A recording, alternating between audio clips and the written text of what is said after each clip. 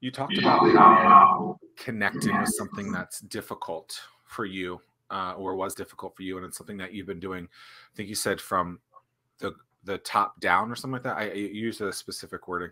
Um, what what was so difficult about that, and how have you been able to get in front of people that you didn't know before? I mean, is it just using Instagram, or or is there you know is the Marla IP somewhere special in there that's that that's yeah i don't know. My um for a long time i felt like i was the uh, somebody told me a joke when i first got down here. They were like are you a yankee or are you a damn yankee? And there i was like you know what's the difference right? The joke. Okay well a yankee is somebody from the north who comes to the south and a damn yankee is someone that stays. And so i'm like okay well i guess i'm a damn yankee.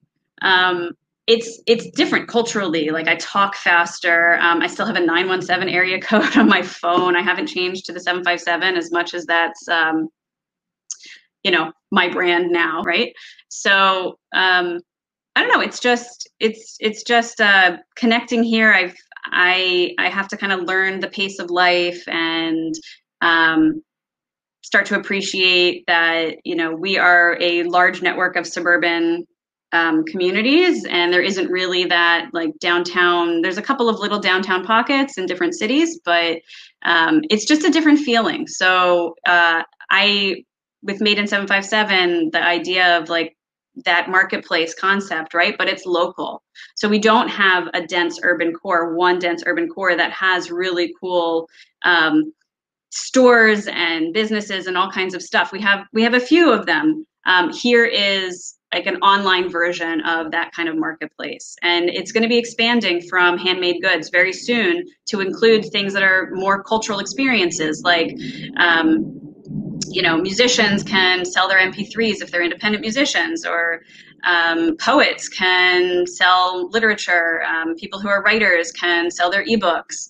Um, you know, if you run a, a, very interesting experience that's bookable, you can put that on the site too. And it's all that sort of local discovery marketplace element.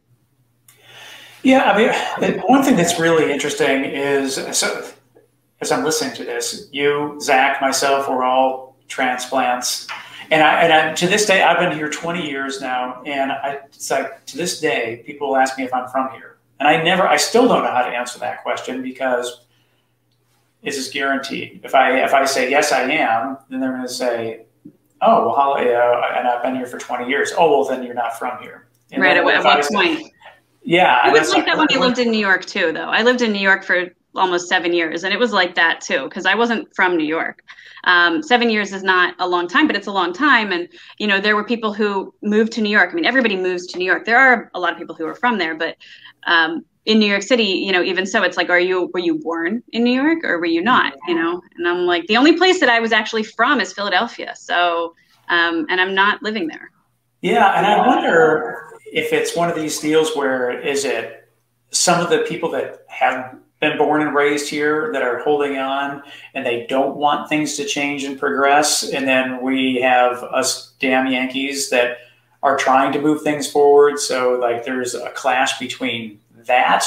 Yeah, I, I don't know. I mean, I uh, think that cross pollination is inevitable and people move, people are migratory. So um, I just, I think that yes, we can put down roots wherever we are, um, but we can also transplant ourselves. And it's, it would be silly to not recognize that this area is made stronger by people who are both local and who come from outside bringing different perspectives. And and everything shapes the uniqueness of our region. So it's not just about like this southern coastal culture. I mean that's a big part of hampton roads but it's also like how can we take that southern coastal culture and infuse it with um, really interesting things that people get ideas from other places and do it in a different way right?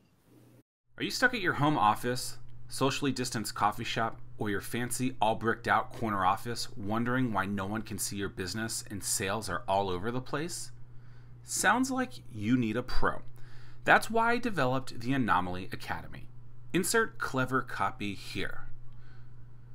Oh, I guess I was supposed to put something else there. Oops. You can grab access to the Anomaly Academy now at zackmillersays.com slash anomaly academy.